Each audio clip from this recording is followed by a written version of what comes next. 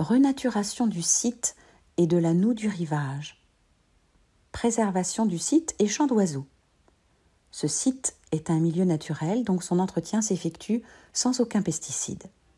Les grands principes retenus pour l'entretien sont une tonte régulière uniquement du chemin de promenade, des interventions sur les arbres que s'ils constituent un danger pour les promeneurs ou une gêne pour la circulation sur le chemin. Ne pratiquer aucune implantation végétale issue de l'horticulture, car ces végétaux peuvent perturber l'écosystème et même prendre un caractère invasif.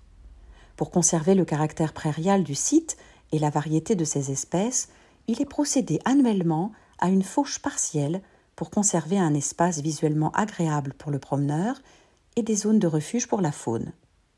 Il est également procédé annuellement à l'arrachage manuel des petits sujets de saules et de frênes qui s'installent de manière trop durable dans la prairie. Chants d'oiseaux, pinçons des arbres, pique et pêche, coassement de grenouilles vertes.